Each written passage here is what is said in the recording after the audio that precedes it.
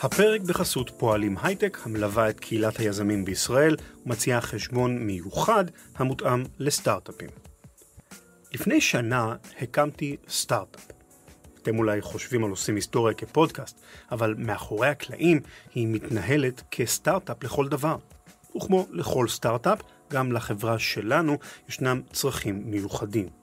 כשאני ודני חיפשנו בנק לפתוח בו חשבון לחברה החדשה, פועלים הייטק היה הגוף היחיד שהציע לנו בדיוק את מה שהיינו צריכים, בלי טרטורים וניירת מיותרת.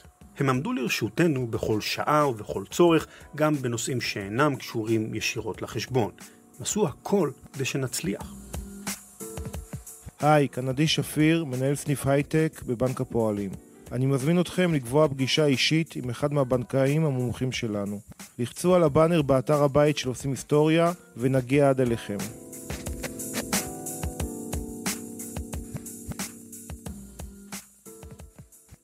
שלום וברוכים הבאים לעושים היסטוריה, פרק 203, ועכשיו כולם ביחד, על הפסיכולוגיה של קהל, שידור חוזר. Tranquility Base here. The Eagle has landed. עושים היסטוריה עם רן לוי. הפרק אותו תשמעו מיד עלה לאוויר לראשונה ביוני 2009, ואני מוכרח לומר שזה אחד הפרקים שאני הכי גאה בהם באופן אישי. מדוע? מכיוון שהוא באמת באמת עזר לאנשים. זאת אומרת, זה לא שאני חושב שפרקים כמו ההיסטוריה של השפה האינדו-אירופאית הקדומה לא יכולים להיות שימושיים. אחרי הכל אתה אף פעם לא יכול לדעת בוודאות מתי תיפול לתוך חור אקראי במרחב הזמן חלל ותגיח בערבות יורו-אסיה בתקופת הברונזה. אבל פה ושם ישנם פרקים של עושים היסטוריה שהם קצת יותר מעשיים. בפרק אני מספר על אפקט הצופה, שגורס ככל שיש יותר אנשים בזירת אירוע, כך קטן הסיכוי שמישהו מהם יסייע לאדם בצרה.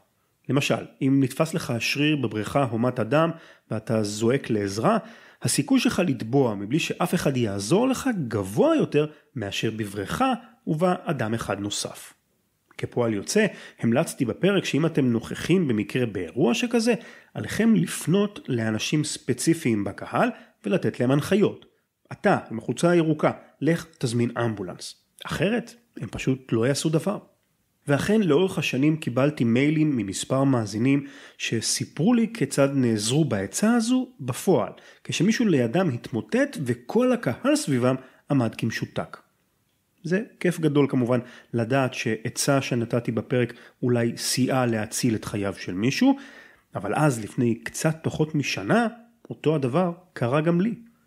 אני חושב שסיפרתי את הסיפור באחד הפרקים הקודמים, אבל אני מקווה שתסלחו לי אם אני חוזר על עצמי. לכבוד יום ההולדת ה-40 שלי פינקתי את עצמי בשבוע של טיול מוזיאונים בלונדון. כן, אני יודע שזה נשמע קצת משונה, אבל לפחות ליד מומיות בנות 3,000 שנה, אני מצליח להרגיש קצת יותר צעיר. בכל אופן, הלכתי באחד האולמות של מוזיאון המלחמה הבריטי, בתצוגה של מלחמת העולם הראשונה, כשלפתע האדם שלצידי, בחור בגילי ה-20, רחן קדימה אל עבר אחד המוצגים. הוא רחן עוד ועוד קצת ועוד קצת, ופתאום הבנתי שהוא לא רוכן, אלא נופל. לפני שהספקתי להגיב ראיתי את ראשו נחבט בעוצמה בסלע שהיה חלק מהתצוגה, והוא התמוטט על הרצפה מפרפר. הוא איבד שליטה על הסוגרים, ודם נזל מהפצע שבראשו ומפיו. סביבנו היו כ-20 או 30 איש, שכולם הביטו בבחור המומים. מיד קפצה לי לראש אותה העצה שאני בעצמי אמרתי בפרק. הצבעתי על מישהו שהיה קרוב לדלת וצעקתי לו, אתה עם החולצה השחורה, לך תזעיק אמבולנס. הבחור התעורר לחיים ורץ החוצה, עשר שניות לאחר מכן כבר הגיעו השומרים, הזעיקו את החובש של המוזיאון וגירשו את כולנו החוצה. אני לא יודע מה קרה אחר כך, אבל כבר ראיתי כמה התקפי אפילפסיה בחיי, ואני מניח שפרט למכה הלא סימפטית שהוא ספג בראשו, הבחור המסכן כנראה יצא מזה בסדר גמור. אז הנה הפרק על הפסיכולוגיה של קהל, שוב בשידור חוזר. אם יצא גם לכם לעזור למישהו אחרי שתקשיבו לו, ספרו לי. וגם אם נפלתם לחור אקראי במרחב הזמן חלל, אני אשמח לשמוע את זה. אני חושב. ועוד משהו. בפרק אני מזכיר, במשפט אחד קצר, התפרצויות של היסטריות המוניות בקרב גברים אפריקנים שהיו משוכנעים שאיברי המין שלהם מתכווצים ונעלמים. לרגל השידור החוזר החלטתי לצלול עמוק יותר אל התופעה המטרידה הזו. כן, אני יודע, אנחנו פודקאסט לכל המשפחה, אני אשתדל לשמור על העמימות הדיפלומטית, בוא נגיד, אבל הורים כדאי להפעיל שיקול דעת. בכל אופן, בסוף הפרק אספר לכם עוד על התופעה המשונה הזו. ניפגש בצידו השני של הפרק. האזנה נעימה.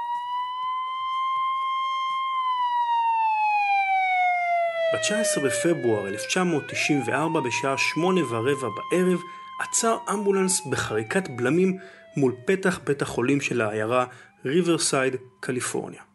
הפרמדיקים שלפו מתוך הרכב אלונקה עליה שכבה גלוריה רמירז, בת 31. גלוריה, חולת סרטן במצב סופני, הובהלה למחלקת טיפול נמרץ כשהיא סובלת מקשיי נשימה ובעיות לב. הצוות הרפואי נפרס סביב מיטת הטיפולים, וזמן קצר לאחר מכן נכנסה גלוריה רמירז לדום לב. המאמצים להצלת חייה של רמירז עברו להילוך גבוה. הרופאים ניסו לגרום לליבה לפעום מחדש באמצעות מכות חשמל. אחת האחיות דקרה את זרועה של רמירז כדי לקחת ממנה דגימת דם, אבל ברגע זה ממש התרחש משהו משונה. ריח מוזר, ניחוח חריף כשל אמוניה עלה מתוך מבחנת הדם. האחות העבירה את המבחנה לאיש צוות אחר ואז איבדה את הכרתה. הרופאה האחראית הורתה להוציא את האחות המאולפת מהחדר כדי שלא תפריע למאמצי ההחייאה. הריח החריף שעלה מדמה של רמירז מילא את החדר, וגם הרופאה התמוטטה אל הרצפה. בזה אחר זה התעלפו הרופאים והאחיות סביב המיטה, ומנהל המחלקה הוזעק למקום. הוא לא לקח סיכונים. ייתכן ורמירז ניסתה להתאבד באמצעות שתיית חומרי הדברה מסוכנים, והגזים הרעילים עלולים להתפשט בתוך המסדרונות. הוא הורה על פינוי חירום של כל החולים והרופאים במחלקה, ורק צוות מצומצם נשאר כדי לנסות ולהציל את רמירז. מאמציהם עלו בתוהו, גלוריה נפטרה כעבור 40 דקות. הרשויות פתחו בחקירה בהולה כדי לברר מה בדיוק אירע באותן דקות גורליות בחדר הטיפול הנמרץ. דגימות נלקחו מגופתה של גלוריה רמירז ומדמן של כל אנשי הצוות שטיפלו בה. למרות כל הבדיקות, החוקרים לא מצאו כל עדות לקיומם של רעלים מוכרים. אם לדייק, נמצאו שרידים של חומר תרופתי שעשוי תאורטית להפוך לרעל בתנאים מסוימים, אבל לא הייתה שום דרך מעשית מוכרת שתיצור את הרעל, כך שגם הרעיון הזה לא נלקח ברצינות. בתום הבדיקות הכריזה ועדת הבדיקה שלדעתה מה שאירע בחדר הטיפולים הוא התפרצותה של היסטריה המונית.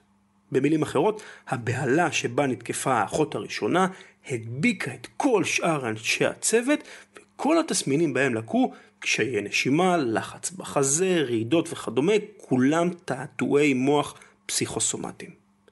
הפאניקה והפחד דילגו מאחד לשני וכל מתעלף רק הגביר את חרדתו של הבא אחריו. עדות לכך, ציינה הוועדה, היא שהפרמדיקים שליוו את רמירז אל בית החולים בתוך האמבולנס הצפוף לא חשו בשום תופעה חריגה. תוצאות החקירה היו שנויות במחלוקת ורבים פקפקו בה, אבל בגרעין העניין עומדת עובדה פסיכולוגית ברורה ובלתי ניתנת להכחשה, והיא שבני אדם מושפעים באופן דרמטי מאוד מרגשותיהם והתנהגותם של אנשים אחרים. רבים יסכימו שאין זמן טוב יותר בו ניתן לראות כיצד פחדים ותשוקות של אדם אחד משפיעים על אדם אחר, מאשר בזמן קריסה של שוק מניות. There's nothing unique about this. It is something which uh, uh, happens uh, every 20 or 30 years because that is about the length of the financial memory. Uh, a new set of people capable of wonderful self-delusion uh, to come in and uh, imagine that they have a new and wonderful fix on the future. לפני הקריסה כמובן ישנה בועה. כולם קונים בכל הבא ליד, משליכים את כספם גם על מניות שבזמנים שפויים יותר לא היו מעיפים בהם מבט שני. מדוע?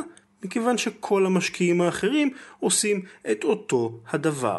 And then I thought, well, I'm, I'm new here, and these people, and I thought, well, they know a lot more about this market than I do. I'm fairly new here, and I really can't see why it's going up.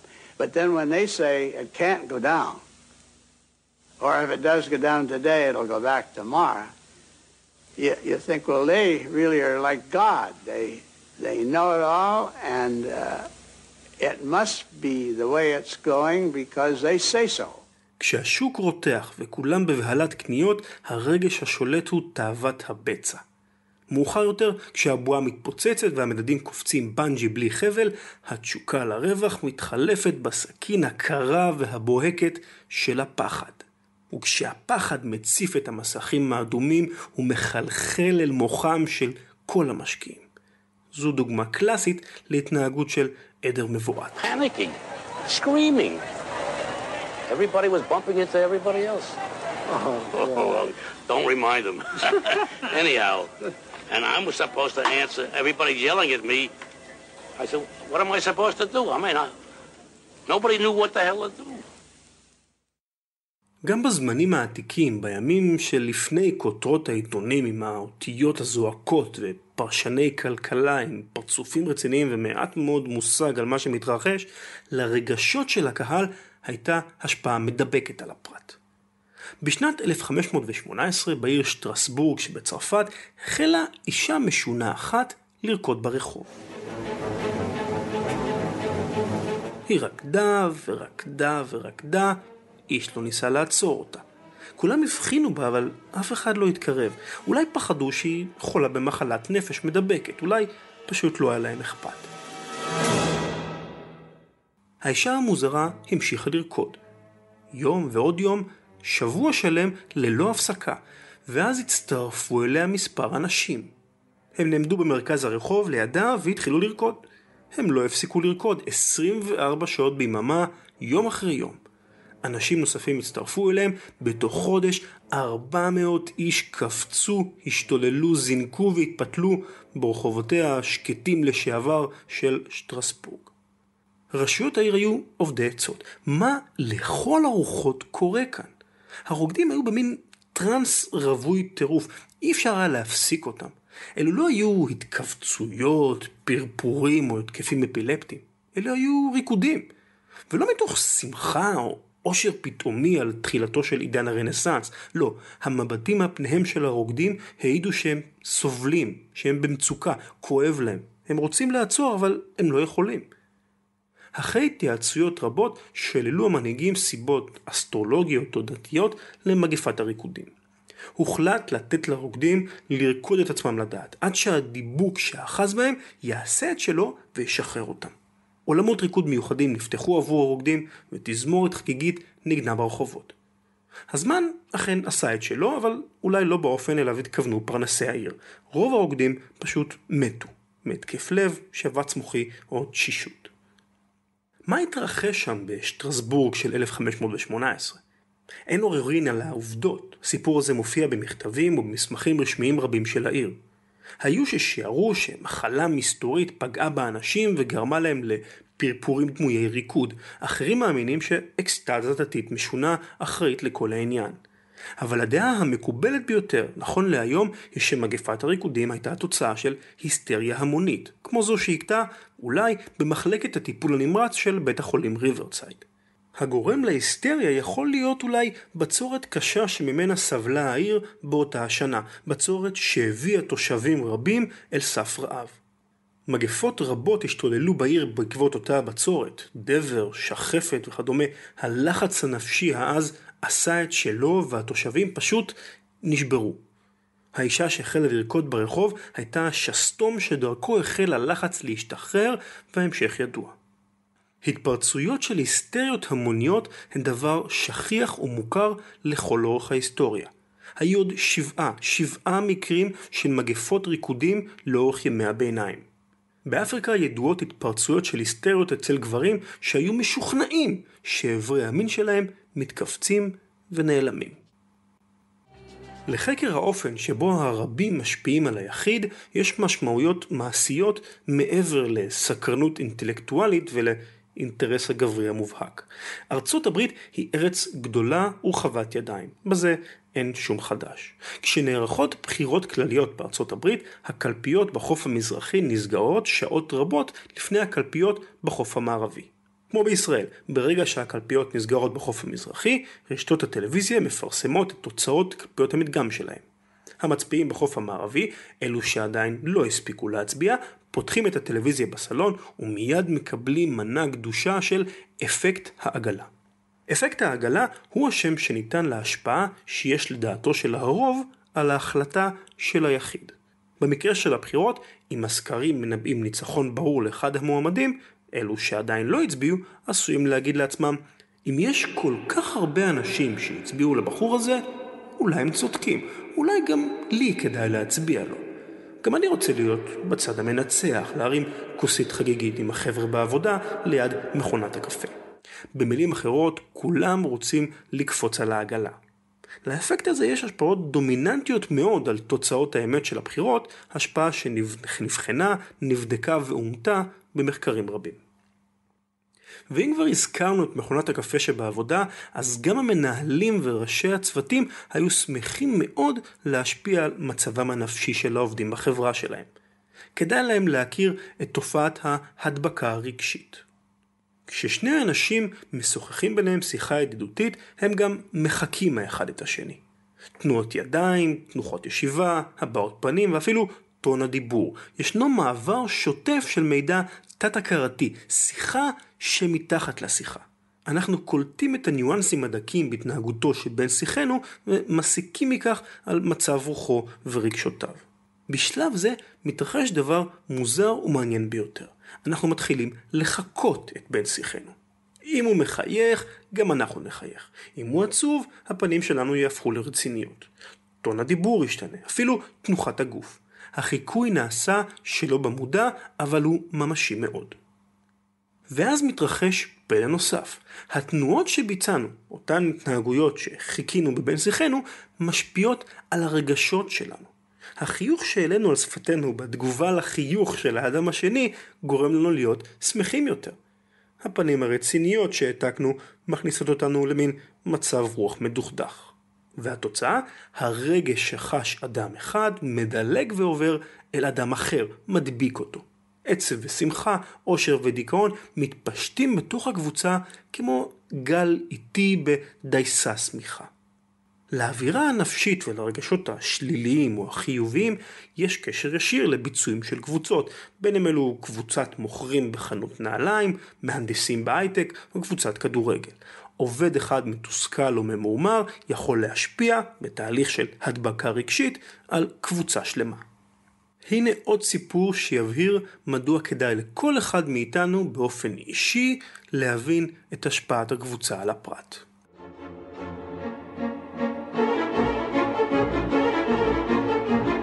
קיטי גנוביס, בת 28, הייתה צעירה ניו יורקית נאה ורגילה למדי. ב-13 במרץ 1964 צעדה קיטי במורד הרחוב שהוביל אל ביתה שברובע קווינס. השעה הייתה שלוש לפנות בוקר. אם הפתיחה עד כה מזכירה לכם אלף ואחת עלילות של סרטי אימה שגרתיים, אתם לא רחוקים מהאמת. כשהייתה לא הרחק מפתח הבית, התנפל עליה גבר מאחור ודקר אותה בכוח בגבה. קיטי התמודדה אל הרצפה, צורחת וצועקת לעזרה. מאחד הבתים בסמטה צעק אחד השכנים לתוקף שיעזוב את הבחורה, אבל לא יצא מהבית כדי לסייע לה. התוקף, שחשש שנתגלה, נמלט מהמקום. קיטי גררה את עצמה בקושי רב אל עבר ביתה. כעבור עשר דקות הבין התוקף שאף שכן אינו מתכוון לצאת לרחוב. הוא חזר אל הסמטה כדי להשלים את המלאכה. הוא מצא את קיטי מדממת על גר המדרגות שיפנה ביתה, בעודה גוססת, אנס אותה באכזריות ואז דקר אותה שוב, רוצח אותה. זה עשוי היה להיות עוד רצח שגרתי וחסר חשיבות ברחובותיה האלימים של ניו יורק, אלמלא כתבה שהתפרסמה שבועיים לאחר מכן בעיתון המשפיע הניו יורק טיימס. 38 שכנים היו עדים לרצח, זעקו השורות בכתבה, ואיש לא נקף אצבע כדי להציל את קיטי גנוביס. אף אחד לא התקשר למשטרה, אף אחד לא חשב להתערב. הכתבה הזו עוררה סערה אדירה בארצות הברית. סיפורה העצוב של קיטי הפך לסמל של הקרירות וחוסר האכפתיות של תושבי התפוח הגדול והחוף המזרחי בכלל. היו כאלה שראו ברצח את השינוי הכללי שחל באופייה של ארצות הברית ולהשפעות המזיקות של הקדמה והניתוק החברתי. הכתבה בניו יורק טיימס דרבנה את הפסיכולוגים והסוציולוגים לחקור כיצד יכול להיות שכל כך הרבה אנשים היו יודעים לפשע נורא ולא נקפו אצבע כדי לעזור. התופעה הזו מוכרת מזה שנים רבות, זהו אפקט הצופה. אפקט הצופה קובע בפשטות שככל שיש יותר אנשים בזירת אירוע, כך קטן הסיכוי שמישהו מהם יעזור לקורבן. במילים אחרות, עדיף להתמוטט מהתקף לב כשמסביבך אדם אחד או שניים מאשר חמישים איש. הסיכוי שמישהו יתנדב להציל אותך קטן יותר. את אפקט הצופה קל מאוד לשחזר בניסוי מבוקר. הפסיכולוגים הכניסו שחקן לתוך קבוצה של אנשים וביקשו ממנו להתמוטט על הרצפה ולפרפר באופן משכנע. הם מדדו כמה זמן לוקח לקבוצה לסייע לו. השעון לא משקר, ככל שמספר האנשים בקבוצה היה גבוה יותר, לקח יותר זמן עד שנמצא מתנדב שיעזור. שתי סיבות אפשריות הועלו לתופעה הזו. הראשונה אומרת שכולם מחכים לאיזה אות, סימן מנחה ממישהו, שהגיע הזמן לעשות מעשה. מכיוון שכולם מחכים, חולף זמן רב יותר עד שמשהו קורה בפועל. הסיבה האפשרית השנייה היא שככל שיש יותר אנשים מסביב, כך הולכת ופוחתת תחושת האחריות האישית של כל צופה. כל אחד אומר לעצמו, ודאי יש מישהו אחר בקהל שהוא מוסמך יותר או מוכשר יותר ממני לטפל במצב. אם אתם המאזינים נקלעים למצוקה בתוך קהל של אנשים, זכרו את אפקט הצופה. אל תזעקו לעזרה באופן כללי, הצביעו על אדם ספציפי בקהל, לא משנה מי, ותקראו לו, אתה עם החולצה הירוקה, תזמין אמבולנס. באופן זה אתם מגבירים את תחושת האחריות האישית של אותו האדם, וגם נותנים את הסימן לקבוצה שהגיע הזמן לפעול. ומה לגבי הסיפור של קיטי גנוביס? הרוצח, נקרופיל חולה נפש, נתפס ונכנס לכלא. אבל הסיפור בכתבה של הניו יורק טיימס הוא לא היה נכון. הכתבה הייתה מוטעית והעובדות שבה שגויות לחלוטין. רק 12 איש היו עדים באופן כלשהו לרצח, ואיש מהם לא ראה את התקיפה השנייה. רק שכן אחד שמע את זעקותיה של קיטי וחשב שבכלל מדובר בסכסוך משפחתי. הוא דווקא כן התקשר למשטרה. אבל במוקד המשטרתי התעלמו מהקריאה. בשורה התחתונה, לאיש מהשכנים לא הייתה סיבה לחשוב שמשהו כה מחריד מתרחש מתחת לאפם. אבל העובדות יצאו לאור רק שנים רבות לאחר הרצח, מה שחשוב הוא שהכתבה בניו יורק טיימס דרבנה את הפסיכולוגים והסוציולוגים, שלא ידעו שמדובר באוסף של שטויות, לעסוק בתחום מחקר חשוב זה. האינטראקציה בין האדם והקבוצה מעניינת מאוד את הפסיכולוגים, ללא ספק. לשוטר הממוצע, לעומת זאת, זה שמוצב בציריון הכדורגל ביום שבת כדי להשגיח על הסדר, זה לא מזיז בכלל. הוא רוצה לראות את המשחק בלי שהאוהדים יפריעו לו. זאת אומרת, הוא רוצה לדעת איך לשלוט על הקהל של אנשים בצורה הטובה ביותר. אחד מהראשונים שחקרו את הפסיכולוגיה של ההמון, את הדינמיקה שנוצרת כאשר מסה של בני אדם מתכנסים יחד, היה הצרפתי גוסטב לבו. לבו היה רופא שחי לקראת סוף המאה ה-19 ועסק במגוון רחב מאוד של נושאים. פיזיקה, ביולוגיה, רפואה, מיסטיקה, אנתרופולוגיה ועוד ועוד. בכולם פחות או יותר הוא לא הבין כלום. אבל דווקא בנושא הפסיכולוגיה של ההמונים, ללבו הייתה השפעה דרמטית בחוגי האקדמיה.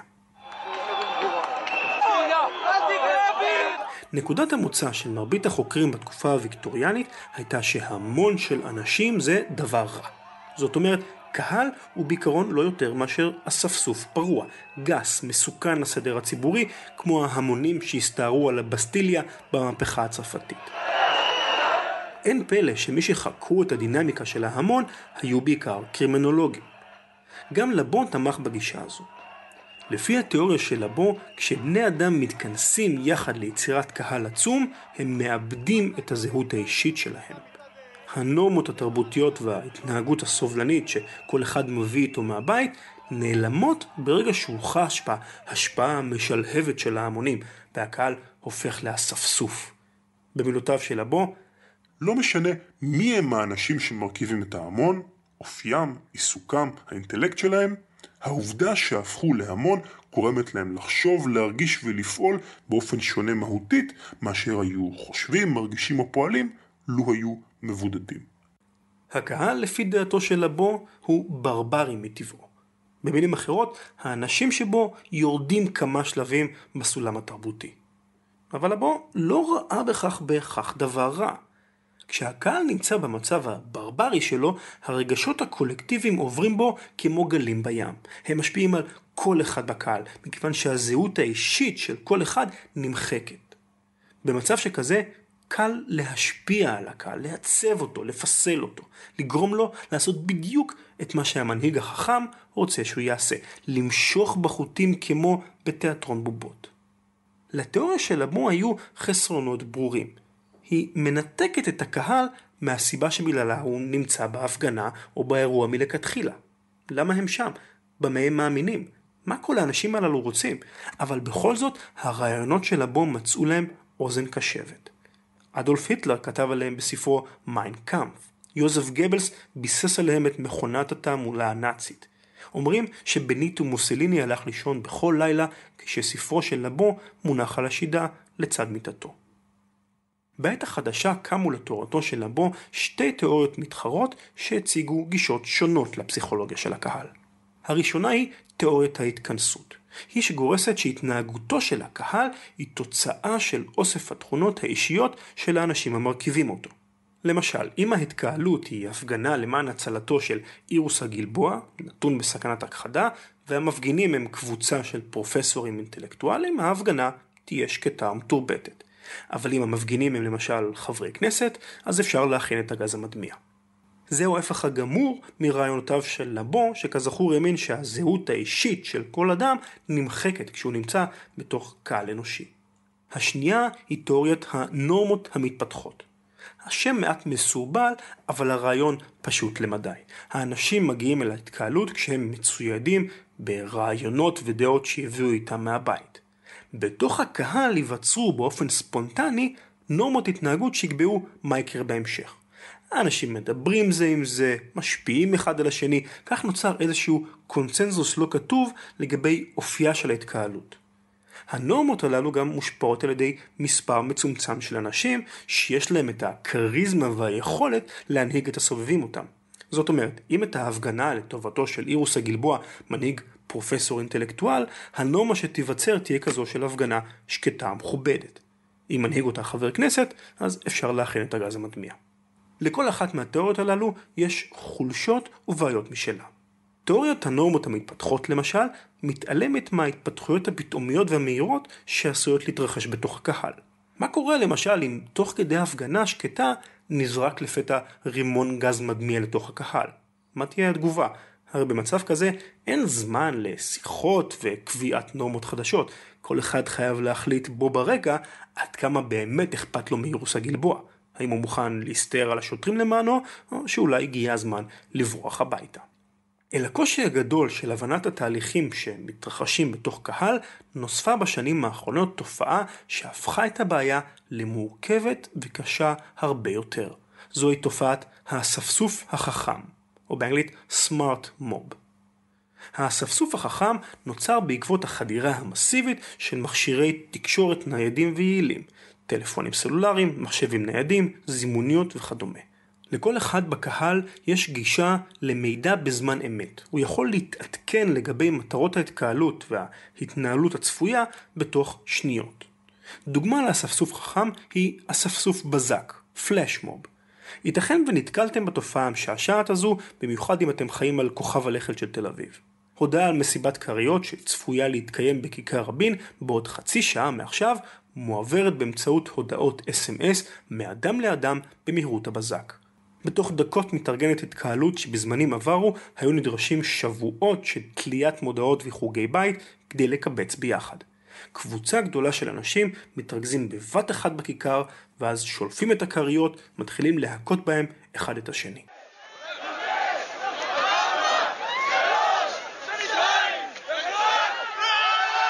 בחוץ לארץ ניתן למצוא מסיבות אספסוף בזק משונות אפילו יותר. למשל, כל המשתתפים מתחפשים לזומבים ומתהלכים ברחובות, או נכנסים לקרון ברכבת התחתית ופוצחים במסיבת ריקודים סוערת. את מסיבת הרכבת התחתית אנחנו לא צפויים לראות בתל אביב בעתיד הנראה לעין לצערנו. אבל לאספסוף החכם יש גם צדדים אפלים ומסוכנים יותר מאשר מסיבת כריות המונית.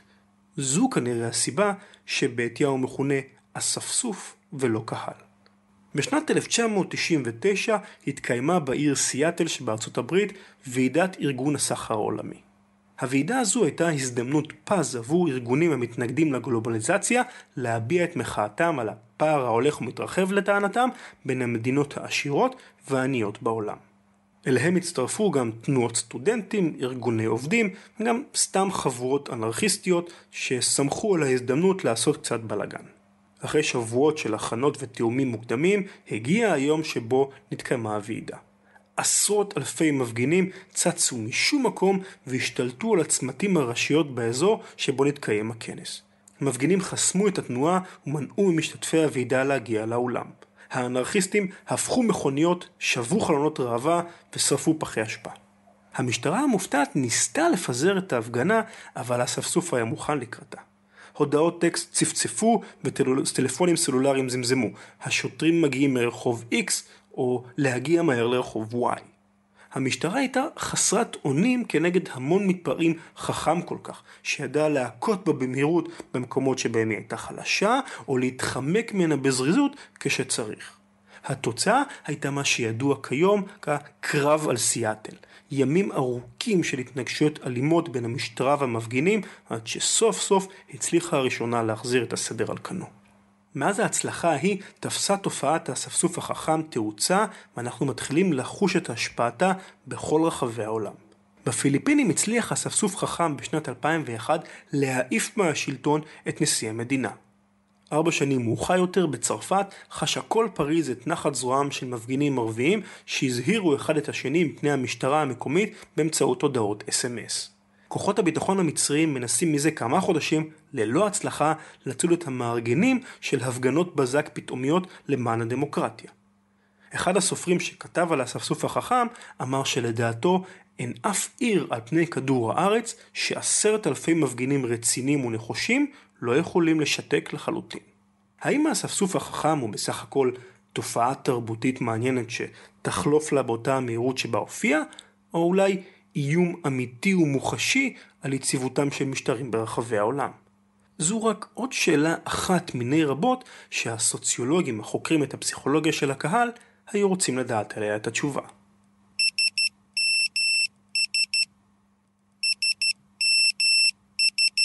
תסלחו לי רגע, אני צריך למצוא את הכרית שלי.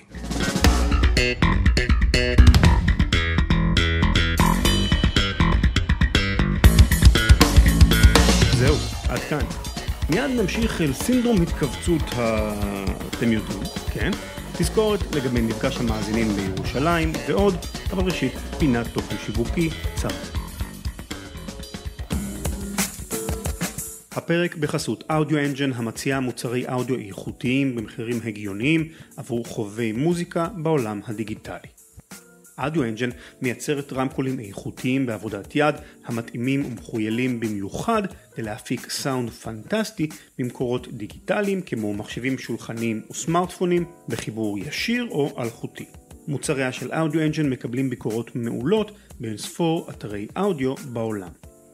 אם אתם אוהבי מוזיקה כמוני, אז יש מצב שכבר הספקתם להתמכר לשירותי הזרמת מוזיקה דרך הרשת. לא ניסיתם עדיין?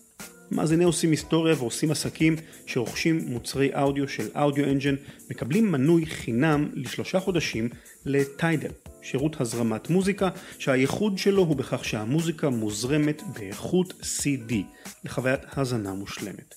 אגב, גם מאזינים שכבר רכשו בעבר רמקולים של אודיו אנג'ן, ויש כאלה לא מעט, נהנים מההטבה הזו. אז אם אתם אוהבים את המוזיקה שלכם ולא מתפשרים על איכות בינונית, כדאי לבדוק מה יש לאודיו אנג'ן להציע במחירים מיוחדים. הקליקו על הבאנר של אודיו אנג'ן באתר שלנו, ranlevy.com.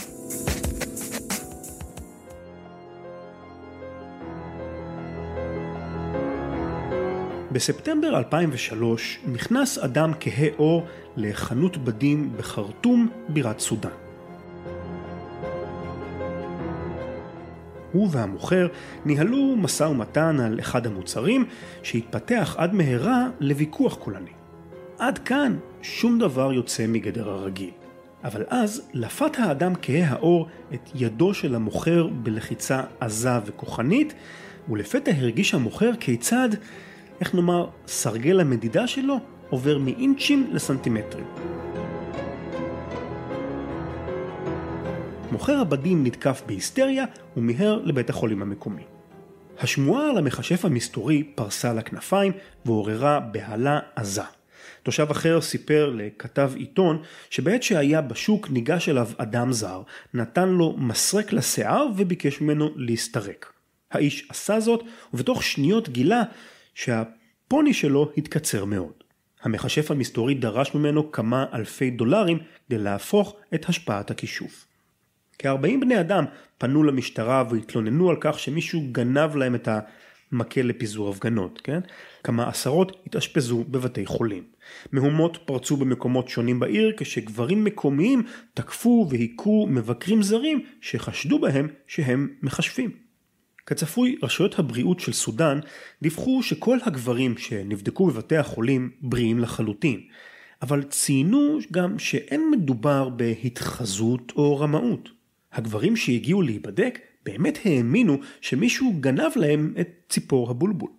לפני שאנחנו קופצים למסקנות לגבי שפיותם של הגברים הסודנים, יש לדעת שהתופעה המדוברת אירעה כמה וכמה פעמים בעבר. ב-1486 טענו גברים גרמנים רבים שמכשפות גנבו להם את הנקניקיות פרנקפורטר שלהם. ב-1967 צבעו למעלה מ-450 גברים קוריאנים על בתי החולים ודיווחו שהצ'ופסטיק שלהם נעלם. התופעה הזו חזרה על עצמה עוד מספר פעמים בסין ובמערב אפריקה והיא כל כך מוכרת עד שאפילו יש לה שם, קורו, מונח שמקורו ככל הנראה מהמילה המלאית קורה, שפירושה ראש צו. לא, זו לא המטאפורה שלי, זו האמת. המונח הרפואי הרשמי יותר הוא סינדרום התכווצות אברי המין, ואגב הוא אינו מוגבל רק לגברים.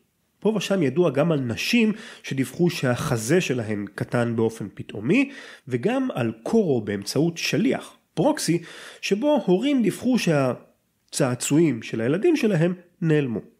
בכל מקרה, בדיקות רפואיות מוכיחות תמיד שהכל בסדר, אבל החולים משוכנעים שמשהו לא בסדר. התפרצויות הקורו שמתרחשות מדי פעם בפעם הן דוגמה מצוינת להיסטריה המונית מהסוג שתיארתי בפרק. הרפואה המודרנית מסווגת את הקורו כסוג של התקף חרדה בעל רקע תרבותי, שכן התופעה הזו נפוצה בעיקר בתרבויות שבהן האמונה בעל טבעי נפוצה יחסית. הרופאים אינם מזלזלים בקורו, כיוון שלמרות שמדובר בסוג של אשליה פסיכולוגית, היא עשויה בהחלט לגרום לנזק גופני אמיתי, כשהחולים מנסים למנוע מהציוד שלהם לחזור לאפסנאות בכל דרך אפשרית, כולל נעיצת מחטים, קשירה בחוט וכדומה.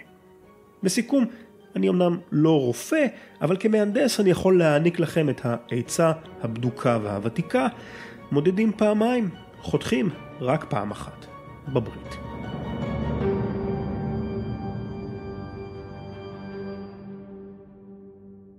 אני מזכיר לכם שבעוד כשלושה שבועות מעליית פרק זה לאוויר, אנחנו מתראים במפגש המאזינים של עושים היסטוריה במוזיאון ישראל בירושלים. 22 בנובמבר, שעה 6 בערב. כרטיסים אפשר לרכוש באתר של מוזיאון ישראל, שקישור אליו תמצאו גם בדף הבית של עושים היסטוריה, רן לוי, r-a-n-l-e-v-i, נקודה קום. הערב הזה כולו יהיה בסימן מצרים העתיקה.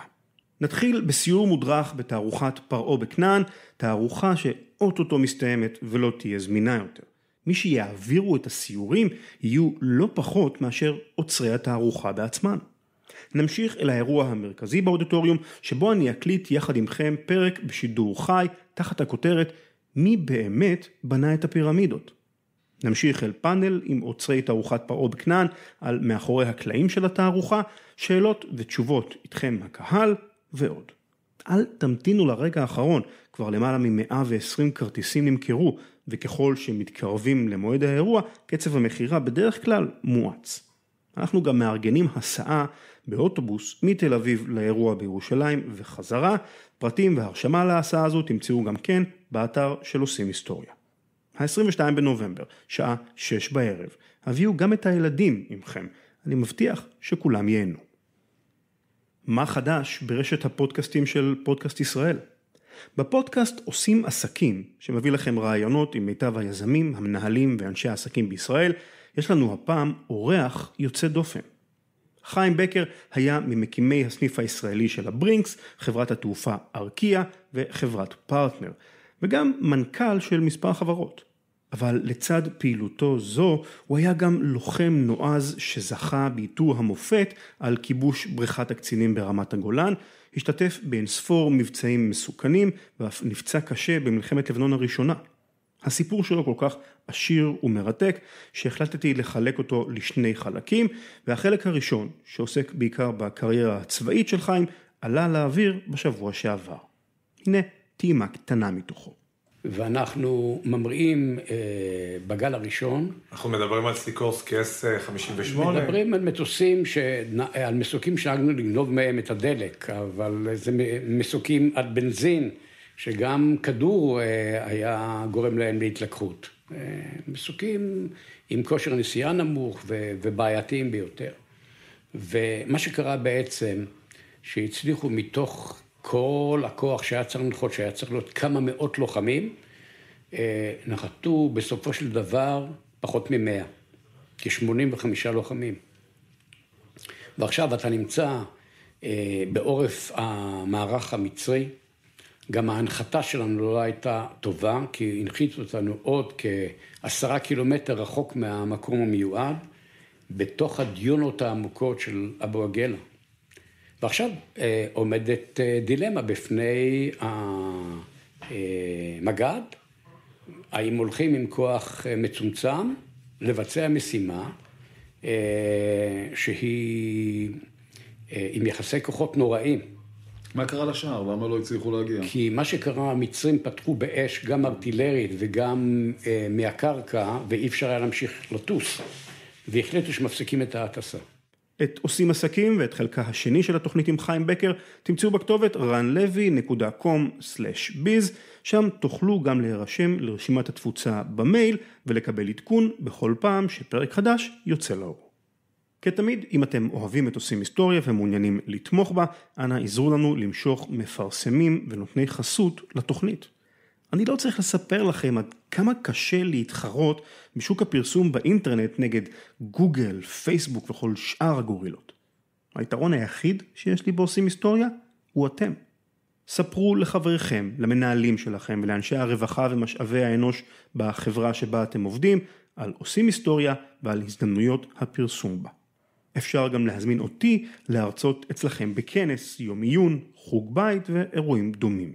בהרצאת הדגל שלי, כיצד ייראו חיינו בעוד 15 שנה, אני מספר על ההתפתחויות המסעירות בתחום הגנומיקה והבינה המלאכותית, ומחבר אותן להיסטוריה של המדע והטכנולוגיה. אפשר גם להזמין הרצאה בכל אחד מאינספור הנושאים שבהם עסקתי בעושים היסטוריה לאורך השנים. תודה על תמיכתכם בעושים היסטוריה. את הקרדיטים הפעם יקריא לנו דן קצוב. שילחו לי גם אתכם מקריינים את הקרדיטים שלנו, עדיף בדרכים מגניבות ויצירתיות כמובן. הנוסח המלא של הקרדיטים מופיע באתר שלנו, ואתם מוזמנים להקליט את עצמכם בטלפון החכם ולשלוח אליי את ההקלטה. ran את ranlevi.com. דן, קח אותנו החוצה. עושים היסטוריה הם דינה בר מנחם על העריכה הלשונית, ניר סייג על עריכת הקול, עידן כהן על ההפקה, נתן פוזניאק על התחקיר, קלי אלוקלין מגישה את Curious Minds, דני תימור הוא מנהל העסקי, ורן לוי כותב ומגיש. אנחנו נשתמע בשבוע הבא. להתראות.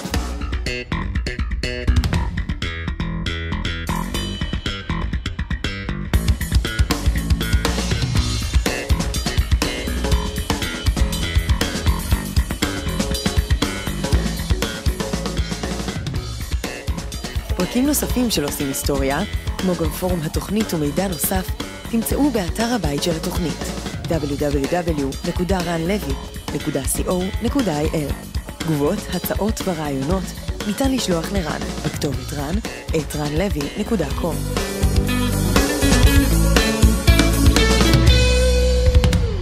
In this house, we obey the laws of thermodynamics.